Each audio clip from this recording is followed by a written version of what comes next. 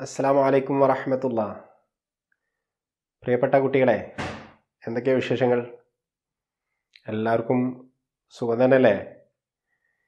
ഇടയ്ക്ക് ഇങ്ങനെ സ്കൂളൊക്കെ ഇപ്പം തുറക്കും നവംബറിൽ തുറക്കും എന്നൊക്കെ പറഞ്ഞ് പിന്നെ പറഞ്ഞു ഇപ്പോഴൊന്നും തുറക്കില്ല എന്നൊക്കെ പറഞ്ഞില്ലേ ആ എന്താ ചെയ്യുക നമ്മളിങ്ങനെ ഇതേപോലെയൊക്കെ തന്നെ കുറച്ച് കാലം കൂടെയൊക്കെ ക്ലാസ് കേട്ട് പോവാ. അതിന് പ്രശ്നമൊന്നുമില്ല. ടൂറൊന്നും പോകാൻ പറ്റുന്നില്ല എന്നുള്ളതിനായിരിക്കില്ലേ? ചിലപ്പോൾ പ്രയാസം. ഓ എത്ര ടൂർ പോകേണ്ട സമയം കഴിഞ്ഞില്ലേ? ഇത് വീട്ടിൽ തന്നെ ഇങ്ങനെ ചടച്ചിരുന്ന് മടുത്തോ? കുറേ ആളുകളൊക്കെ ഇപ്പം തന്നെ കുറേ പുറത്ത് ഇറങ്ങി നടക്കാനൊക്കെ തുടങ്ങിയണില്ലേ യാത്രകളൊക്കെ പോകാൻ തുടങ്ങിയണില്ലേ നിങ്ങളേ എപ്പോഴെങ്കിലും കാട്ടിലൂടെ സഞ്ചരിച്ചിട്ടുണ്ടോ? കാട്ടിലേക്ക് ടൂർ പോയിട്ടുണ്ടോ? സ്കൂളിൽ അല്ലെങ്കിൽ ഉപ്പാന്റെയും ഉമ്മാന്റെയും കൂടെയോ ഒക്കെ കാട്ടിലേക്ക് എപ്പോഴെങ്കിലും ടൂർ പോയിട്ടുണ്ടോ? ഇഷ്ടമാണോ കാട്ടിൽ പോകാൻ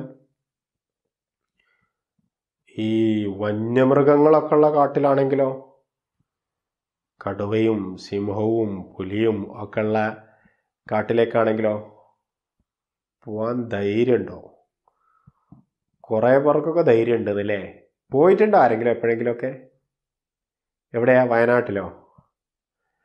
ശരി. ചിലരൊക്കെ പോകാറുണ്ട് ഇങ്ങനെ ട്രക്കിംഗ് എന്നൊക്കെ പറഞ്ഞിട്ട് പോകാറുണ്ട് അല്ലേ കാടിന്റെ ഉള്ളിലേക്കൊക്കെ. അപകടകരമാണ് ചില യാത്രകളൊക്കെ.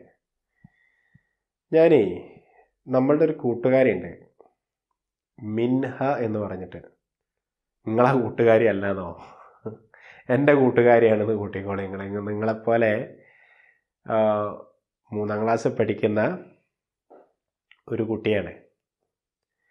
അപ്പം ഈ കൂട്ടുകാരി ഒരിക്കൽ അതേപോലെ ഒരു ടൂർ പോയി. എങ്ങോട്ട് അറിയോ? ഒരു വലിയ കാട്ടിലേക്കാണ് പോയത്. അപ്പോൾ ടൂറൊക്കെ പോയി വന്ന് ടൂറ് പോയി വന്നാൽ പിന്നെ എന്താ ഉണ്ടാവുക ഭയങ്കര ആവേശമായിരിക്കില്ലേ വീട്ടിലുള്ള ആളുകളോടൊക്കെ പോയ കഥയൊക്കെ പറഞ്ഞു കൊടുക്കാൻ.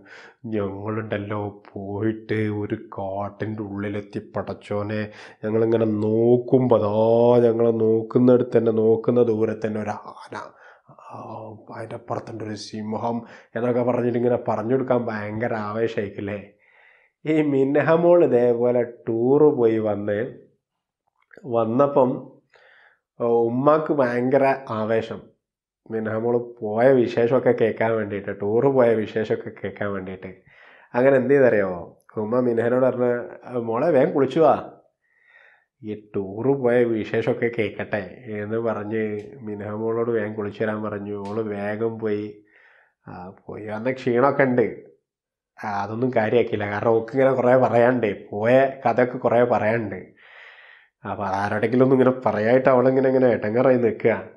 പോയതും കണ്ടതും ഒക്കെ ആയ കഥ. അപ്പോൾ ഉമ്മ ഇത് കേൾക്കാൻ റെഡിയായിട്ട് നിൽക്കുകയാണ്. അവൾ വേഗം പോയിട്ട് കുളിച്ച് വന്നിട്ട് ഭക്ഷണം കഴിക്കുന്ന ടേബിളിന്റെ അടുത്ത് ഇരുന്ന് ഉമ്മയും വന്നിരുന്ന്. അങ്ങനെ ഉമ്മന്റെ അടുത്ത് തന്നെ പോയിരുന്ന് ഉമ്മ നല്ല പായസമൊക്കെ ഉണ്ടാക്കി വെച്ചിരുന്നു. അതൊക്കെ കുടിച്ച് പായസം എന്ന് പറയുമ്പോൾ കൊതിയാകുന്നുണ്ടോ ആർക്കെങ്കിലുമൊക്കെ? അത് മിൻഹമോളാണ് ഉമ്മ ഉണ്ടാക്കി വെച്ചതാണ് കേട്ടോ. ടൂറിന് പോയി വരുമ്പോൾ കൊടുക്കാൻ വേണ്ടി ഉണ്ടാക്കി വെച്ചതാണ് അതൊക്കെ കുടിച്ചിങ്ങനെ കഥ പറയാൻ തുടങ്ങി. അതുണ്ടല്ലോ ഉമ്മ ഞങ്ങൾ ഒരു കാട്ടിലേക്കാട്ടോ ടൂർ പോയത്. അങ്ങനെ കാട്ടിലേക്ക് ഇങ്ങനെ പോയി പോയി പോയി പോയി ഉള്ളിലൊരു കാട്ടിലെത്തിയപ്പോൾ ഞങ്ങൾക്ക് വഴി തെറ്റിപ്പോയി. അപ്പം അമ്മ ചോദിച്ചു പടച്ചോനെ എന്നിട്ട് എന്താക്കി നിങ്ങൾ അതൊന്നും പറയണ്ടമ്മ. ആ കാടാണിച്ചാൽ അതിൽ വന്യമൃഗങ്ങളൊക്കെ ഉണ്ടോലോ സിംഹവും കടുവയൊക്കെ കണ്ടോലോ. ഞങ്ങൾക്കിത് ഇനി എങ്ങോട്ടാ പോണ്ടത്? അങ്ങോട്ട് നോക്കുമ്പോൾ അങ്ങോട്ട് കാര്യമായിട്ട് വഴിയൊന്നുമില്ല. വലിയ കാട് ഇങ്ങോട്ട് നോക്കുമ്പോൾ ഇനി എങ്ങോട്ടാ പോകേണ്ടതെന്ന് ഒരു പിടുത്തമില്ല ഞങ്ങൾ ആകെ ഇങ്ങനെ പേടിച്ചിങ്ങനെ നിൽക്കുക. എന്നിട്ടോ? അപ്പുണ്ട് ഭാഗ്യത്തിന് ഒരാൾ ഈ വനപാലകരിൽപ്പെട്ട ഒരാൾ കാട്ടിലൊക്കെ ഉണ്ടാവുന്ന നോക്കി നടക്കുന്ന ആളൊക്കെ ഉണ്ടാവുമല്ലോ. അയാൾക്ക് നന്നായിട്ട് വഴി അറിയാം. കാട്ടിലൂടെയുള്ള വഴി അറിയാം. ഏതിലെ പോയാൽ അപകടമാണ്. ഏതിലൂടെ പോയാൽ അപകടമല്ല. എവിടെയൊക്കെയാണ് മൃഗങ്ങൾ ഉണ്ടാവുക? എവിടെയാണ് മൃഗ മൃഗങ്ങൾ ഉണ്ടാവാതിരിക്കുക?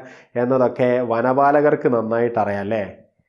ആ അങ്ങനെ വനപാലകരിൽ ഒരാൾ പെട്ടെന്ന് എന്തോ ഭാഗ്യത്തിന് വന്നു.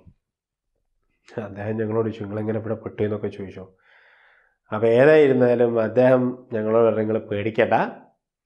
ഞാൻ എന്ത് ചെയ്യാം? നിങ്ങൾക്ക് വഴി കാണിച്ചു തരാം. ഒരു അപകടം ഉണ്ടാവാത്ത രൂപത്തിൽ പോകാൻ പറ്റിയ വഴി കാണിച്ചു തരാം. ആ വഴി കൂടെ പോയിട്ട് നമുക്ക് എന്ത് ചെയ്യാം? കാടൊക്കെ കണ്ട് പുറത്തേക്ക് എത്താമെന്ന് പറഞ്ഞു ഓ ഞങ്ങൾക്ക് ഭയങ്കര ആശ്വാസമായി ഇല്ലെങ്കിൽ ഞങ്ങൾ കാടും കാണൂല പുറത്തേക്കിട്ട് എത്തുകയില്ല. വല്ല സിംഹവും പിടിച്ചു തിന്നു ഞങ്ങൾ അമ്മാകെ ബേജാറായി പടച്ചോനെ. അന്നേരം അദ്ദേഹം വന്ന് നന്നായില്ലേ? ഇല്ലെങ്കിലോ? ഇല്ലെങ്കിൽ എന്താക്കാനമ്മ ഞങ്ങളെ വല്ല സിംഹവും പിടിച്ചൊന്നായിരുന്നു എന്ന് പറഞ്ഞ ആര്? മിൻഹമോൾ ഈ സമയത്തെ. ഉമ്മ മിൻഹമോളോട് കാര്യമായിട്ടൊരു ചോദ്യം ചോദിച്ചു. ശരിയാണ്. ആ കാട്ടിൽ നിങ്ങൾ വഴിതെറ്റിപ്പോയപ്പം ആ വനപാലകം വന്നതുകൊണ്ട് നിങ്ങൾ രക്ഷപ്പെട്ടു. ഇല്ലെങ്കിൽ നിങ്ങളെ കാട്ടിൽ പെട്ടുപോയേ നിങ്ങളെ വല്ല മൃഗങ്ങളും പിടിച്ച് തിന്നുകയോ ചെയ്യായിരുന്നു.